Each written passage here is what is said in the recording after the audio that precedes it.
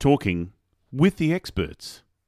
In episode 554 with Divya Ramachandran, discover how emotional clarity can make hard conversations easier. Learn strategies for impactful leadership. Uh, if you if you can kind of picture this image of you and your emotion are, are getting into a car you know you have to get somewhere you, you need something this conversation you're getting into a car um, one possibility is that the emotion gets into the driver's seat and you're in the back seat of that emotion's driving, right? So when we have this anger and we're not acknowledging it, what happens is it gets into the driver's seat. We're making choices, we're, we're acting emotionally, right? We're, we're making our choices. Everything we're saying is driven by that emotion. Well, that's not what we want here.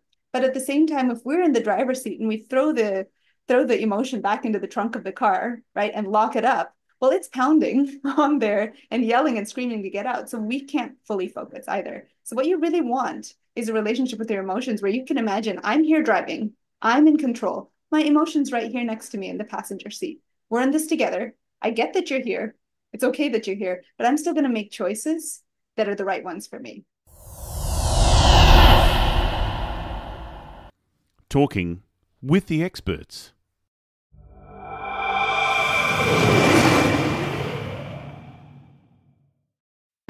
Are you looking to elevate your brand? Advertise with Talking with the Experts and reach a global audience. With over 36,000 monthly listeners, your message will resonate with a dedicated and engaged community. Hosted by Rose Davidson, our podcast has ranked in the top 100 in Australia and the top 20 in New Zealand. Boost your brand visibility, connect with potential customers, and drive conversions. Our listeners are eager for innovative solutions and expert insight. Let your brand be the one that they trust. Are you ready to grow with us?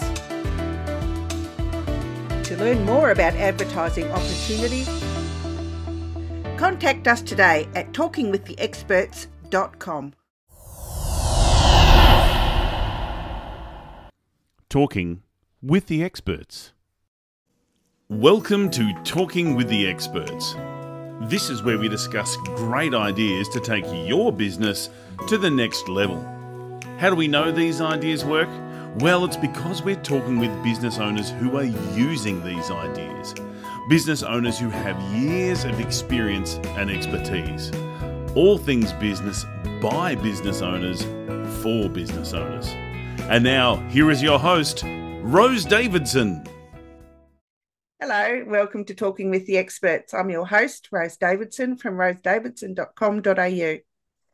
Talking with the Experts is all about business by business owners for business owners. You can find it on all podcasting streaming platforms and on YouTube.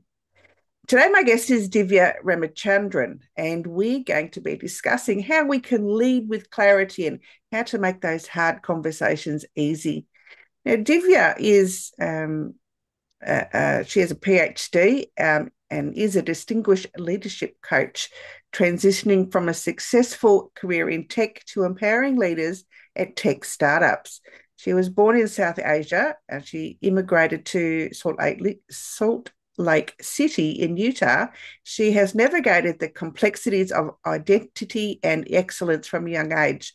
Her academic journey led her from computer engineering to a profound discovery at the University of uh, Berkeley, where she realized her passion for using technology to address human needs. This epiphany, coupled with a transformative experience in executive coaching, redirected her uh, path towards leadership coaching.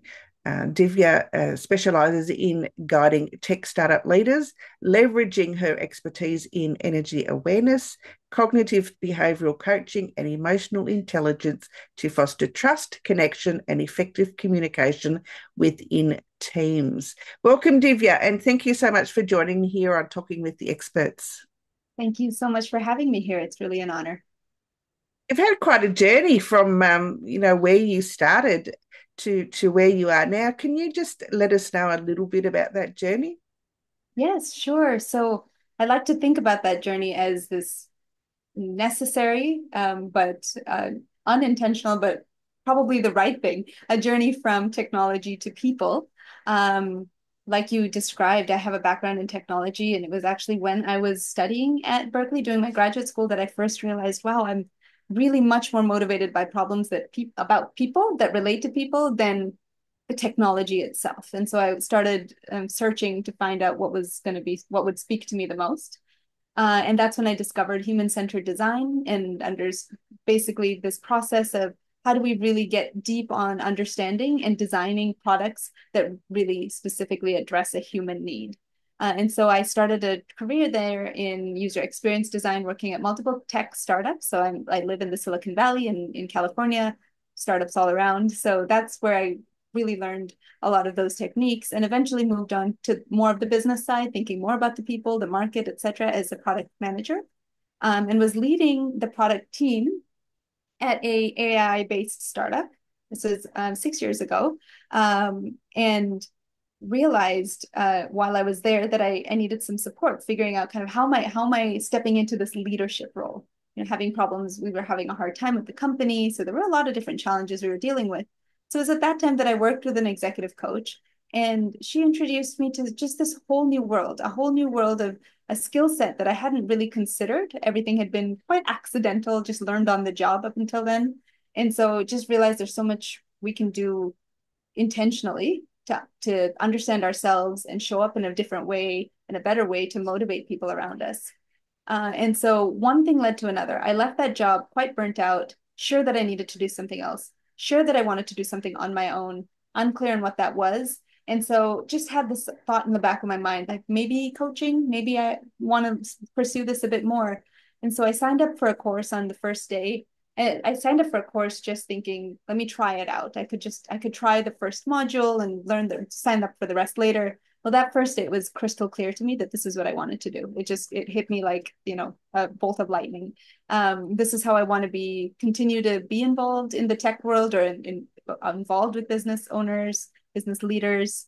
Uh, this was the skill set that I wanted to be able to bring. And I really wanted to be able to go deep with people and help them really unlock their full potential by um, working with them on their leadership challenges. Yeah, emotional clarity and leadership and communication is really important. Um, you know, we we see a lot of times that leaders um, aren't communicating in the best way so that their message is understood by those that they are communicating with. So, um, you know, how can we use this emotional clarity to, uh, you know, to be better understood? Yeah, that's a great question.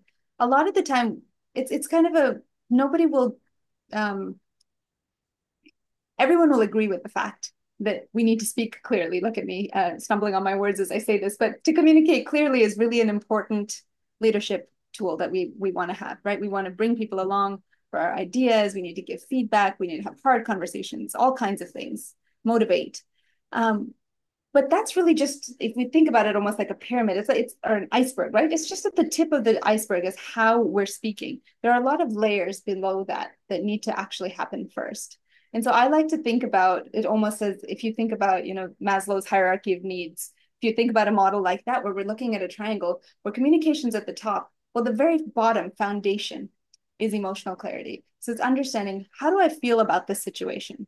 Am I bringing anxiety and fear and regret or dread to this conversation? Let's just, for an example, let's say you have to give feedback to a peer. You're supposed to be collaborating with them. They don't seem to be pulling their weight. You need to have a hard conversation with them you want to stay friends with them you don't want this this to ruin the relationship at the same time you don't want to be doing all their work for them right so it's just this you've got this push and pull so we want to start by just getting clear on how we feel about it because if we don't we're going to do one of two things we're going to probably for a while tolerate the behavior because we just we're just thinking oh, let's just let me just let me just do it myself i don't want to go there i don't want to go there i'm just going to you know take it on myself and we'll do that and we'll do that, we'll do that. At some point, we're going to get to a breaking point, And then that emotion is going to come out in some other way.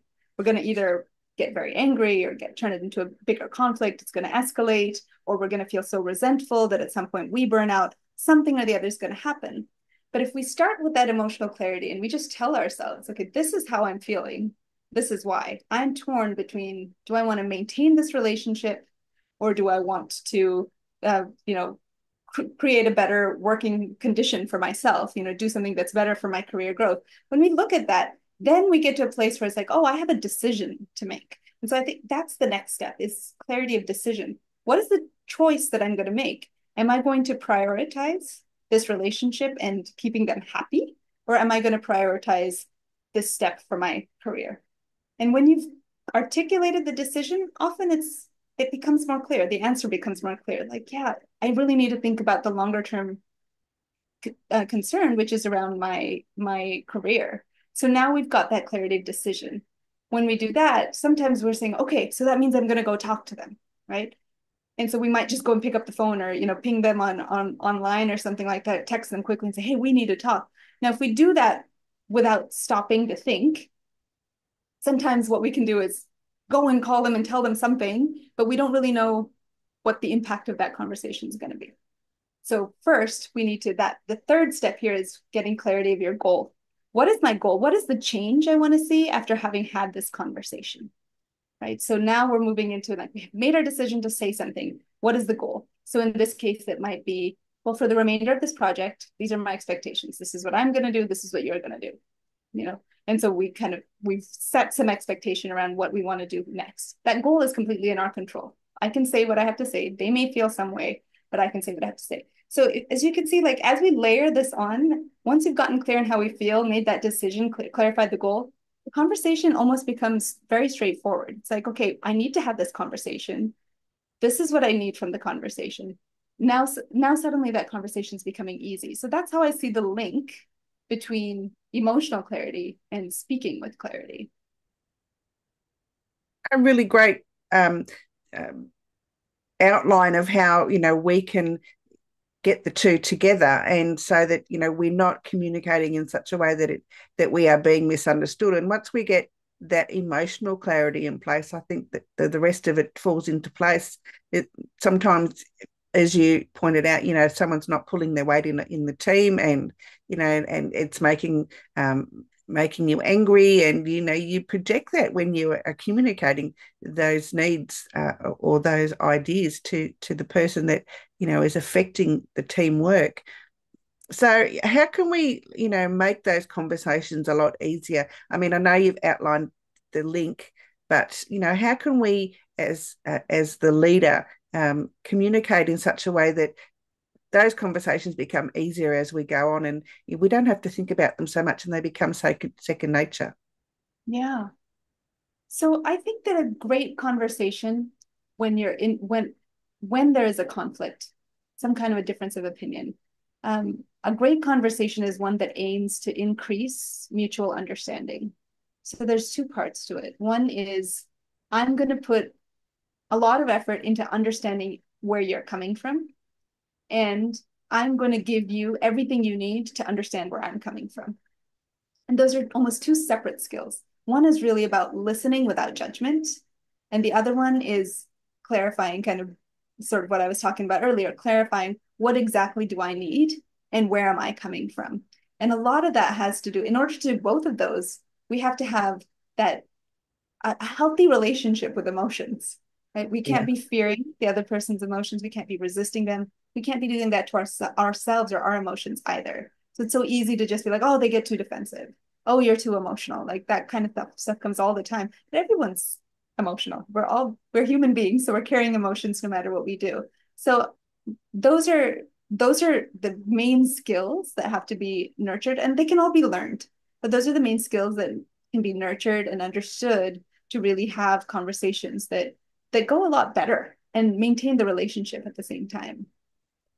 It's really important um, to you know to to um, hold back the, the the anger. Even if you're feeling angry, you can still project yourself in a in a in a better way so that um, the, the anger isn't peppered throughout the conversation. And sometimes it can be a little bit difficult because you're right, we are human, we are emotional beings, um, and you know, and and sometimes too, um, you know, words can be misunderstood or, you know, the whole conversation can be misunderstood. And so active listening, and if we teach that to our team members as well, active listening is is really important so that you're getting the idea of the message and, you know, asking questions throughout the conversation so that that the message is clear and, and received in the way that it was intended. Yeah, absolutely. I think asking questions is so important and asking questions curiously is is so important as well. And what you were saying there about kind of that anger getting peppered peppered through that conversation, it's it's so true. And I I like to think about it. If you think about a metaphor, uh, if you if you can kind of picture this image of you and your emotion are, are getting into a car. You know, you have to get somewhere. You you need something. This conversation, you're getting into a car. Um, one possibility is that the emotion gets into the driver's seat and you're in the back seat of that emotion's driving, right? So when we have this anger and we're not acknowledging it, what happens is it gets into the driver's seat. We're making choices. We're we're acting emotionally, right? We're we're making our choices. Everything we're saying is driven by that emotion. Well, that's not what we want here.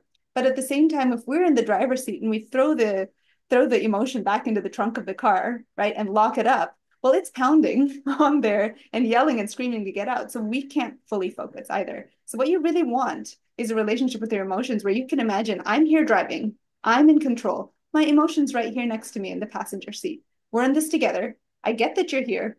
It's okay that you're here, but I'm still going to make choices that are the right ones for me. And I, I like to kind of think about that relationship in that way.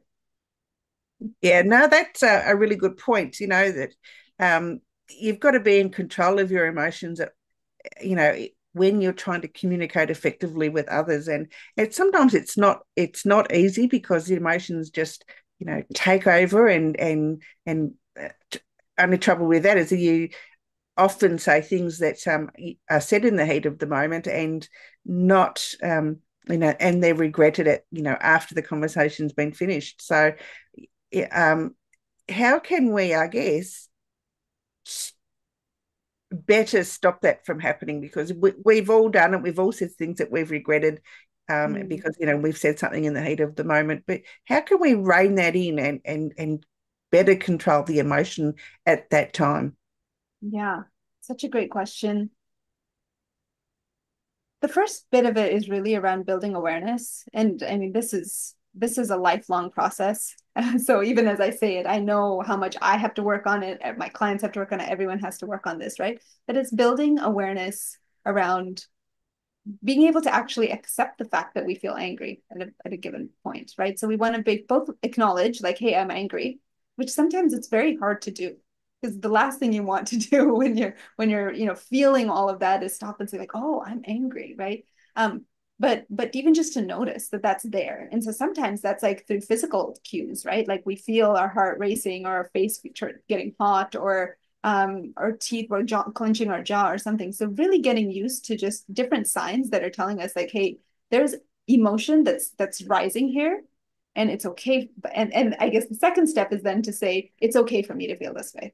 So that's huge you want to be able to notice it because just noticing it itself kind of de-intensifies it. But when you say, it's okay that I'm angry, or it's okay that you're angry, right? Anytime we validate and recognize, like, of course I'm angry because this person has not been pulling their weight, or this, you know, this manager has not recognized my um, abilities and is not, you know, is not giving me a promotion. They may have their reasons, but I'm still angry. When we validate that emotion, that's what allows it to pass. And so it's so important that we do these two steps first is just acknowledge that it's there and then accept or validate that emotion and allow it to pass. And once it's done that, then we're in a position where we can actually make that choice where we say, okay, okay, anger, come sit in the car next to me. You can come along with me, but I'm going to drive and I'm going to make the choice that's best. And so it's, I think it's just those steps of like building that awareness over time, but also being comfortable with it, saying it's, there's so many ways in which we're taught culturally, socially, uh, in so many different ways that it's not okay to be angry. It's not okay to be sad. It's not okay to be disappointed, all these things. So most of the time we're taught to kind of shove it under the rug and focus on the positive, right?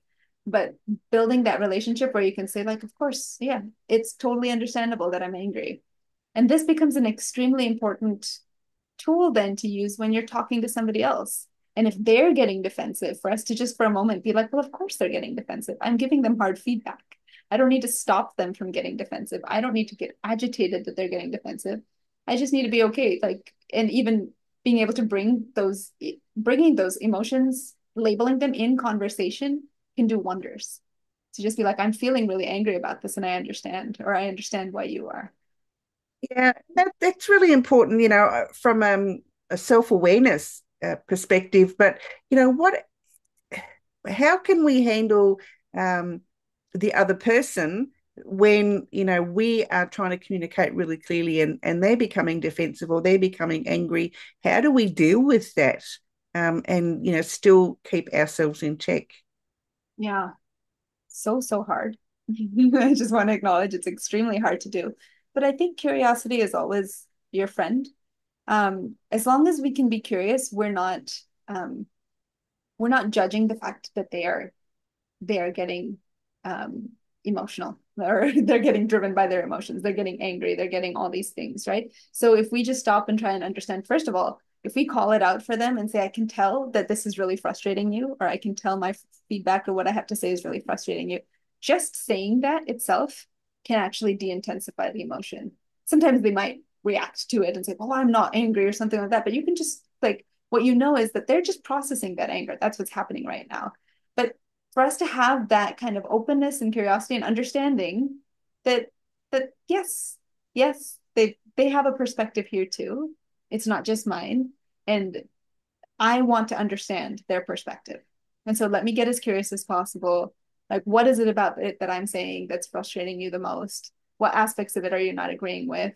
And the more curiosity we build, bring, our energy will shift their energy, and it might take time.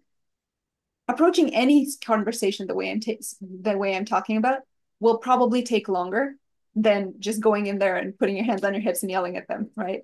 Um, it that has other uh, there, there's there are drawbacks to that, but it sometimes is faster sometimes it's faster this will take more time so maybe that whole conversation you never get your point across and all you're doing is trying to understand their anger the next time around that would have they're, they're going to be in a better place to compromise with you or talk to you about mm. a collaborative solution yeah compromise is the key word i think um, when there's those hard conversations i think you really need to compromise on on um, you know how you speak how you your body language as well because body language has a lot to do with communication and mm-hmm. um, you know you could be very nice and easygoing and whatever but your body language can can show that you're not um, portraying what your voice is is is saying so that is really a, an important factor in this whole communication thing yes absolutely which is why um it's so hard to communicate. So many uh, companies and so many people interact via just text, uh, especially when everyone's remote and that kind of thing. And it makes it, I mean, just there's so much more there's so much more potential for things going wrong so those are the moments where you want to pick up the phone or ideally get on a video call or meet in person if that's an option um, there's nothing like it to just sort of reset and re- remind one another oh we're both human we're both coming from somewhere there's you know there's something uh, there's something more to this person than the words they're typing. Absolutely, yeah. Our written communication is the worst type of communication. I think it's. uh, I cannot tell you how many times I've sent an email to somebody, and I thought that the communication was clear and concise, and you know, um, non-judgmental, and then I get an email back saying, you know, that why am I doing this and that and something else? And that's not what I intended at all. And then the more I try to, you know, um, make them understand, the worse the situation gets. And my goodness, it's like, you know, it, it's it has ended um, business relationships because of um, mm-hmm. misunderstood uh, text. Um, and yeah, it, it is a lot better to get onto a video call or even a phone call where they can hear your voice um, mm-hmm. and to you know to try and alleviate the fears that they may be having or, or the, the judgments that they're having on that co- mm-hmm. written conversation. That's right. Yeah. Yeah. Happens to me all the time as well. I completely agree. Yeah. yeah. Um, Divya, um, a really great conversation. I'm absolutely loving this. Where can people find you um, if they want to, you know, work with you or find out more about what you can offer them? Yes. Um, so I'd love to connect with people on LinkedIn. That's kind of the main place where I do um, do love to connect. So Divya Ramachandran is my name, and you can find me on LinkedIn. Um, I also uh, have my email address, you're welcome to email me directly, coach at divyalalitha.com. That's D-I-V-Y-A-L-A-L-I-T-H-A.com. That's also my website is divyalalitha.com. Um, and over there, there's an opportunity to sign up for my newsletter if you're just kind of interested in hearing a few tidbits about this um, or um, connect with me directly. So I'd love to, I'd love to talk to any of your, um, any of your audience uh, who might be interested in talking more about these things. You're lovely, and you've got a, a hard things guide. Tell us a little bit about that.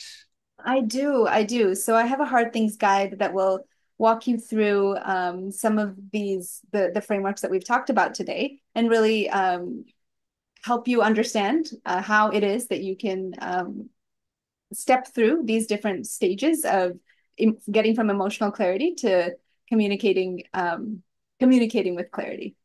And so that is that is a gift for you and your audience um, to please feel free to download. And I hope it can help support you through some of your hard conversations. Absolutely excellent. Thank you so much. Divya, it's been an absolute pleasure. Thank you so much for sharing your knowledge with us today. It's been a, quite a pleasure. It's been a wonderful pleasure for me as well. Thank you for having me, Rose. Bye for now.